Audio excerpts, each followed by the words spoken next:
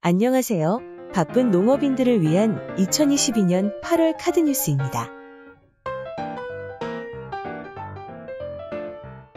먹노린재는 7에서 8월에 약충과 성충이 벼줄기에 구침을 받고 흡집하며 심하면 수확량에 큰 영향을 줄 수 있습니다.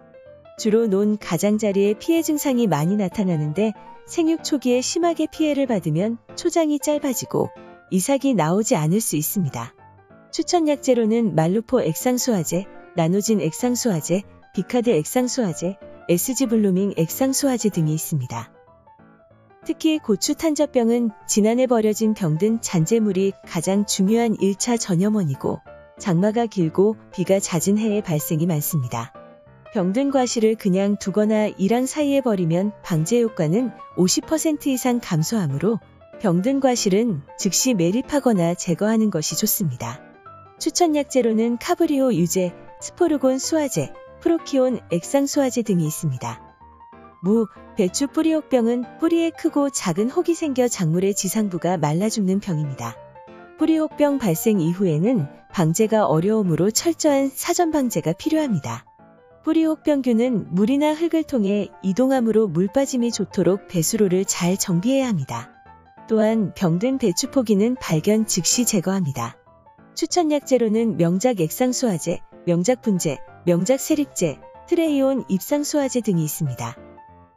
담배나방은 피해가 전국적으로 발생하고 있는데 장마가 끝나고 기온이 높아지면 담배나방의 발생이 증가할 우려가 있습니다. 유충은 3년 이상 자라면 약재 저항성이 커져 방제 효과가 떨어지므로 새 잎을 중심으로 자세히 살펴보고 알이나 유충을 발견하는 즉시 방제합니다. 추천 약재로는 제라진 유제, 나노진 액상수화제, 타르보 유제, 애니충 액상수화제 등이 있습니다. 최근 고온으로 진딧물과 총체벌레의 밀도가 높아져서 이들 매개충들이 전파하는 바이러스병 확산이 우려됩니다. 오이모자이크 바이러스를 매개하는 진딧물과 토마토 반점 위조 바이러스의 매개충인 총체벌레는 효율적인 방제를 위하여 기작이 다른 등록약제를 선택하여 방제하도록 합니다. 감염이 되면 방제가 어려우니 예방 위주로 방제를 철저히 해주어야 합니다.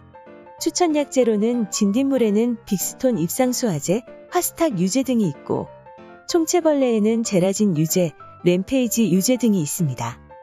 사과갈색 무늬병은 주로 공기전염에 의해 발생됩니다.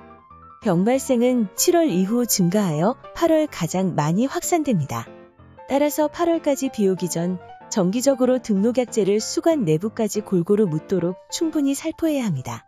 추천 약재로는 레빅사 액상수화제, 카브리오 유제, 스포르곤 수화제, 델란 수화제 등이 있습니다.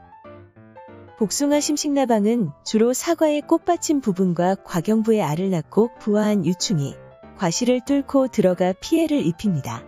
8월 중순부터 2세대가 발생하므로 등록약재로 방제하여 발생 밀도를 낮춰주어야 합니다.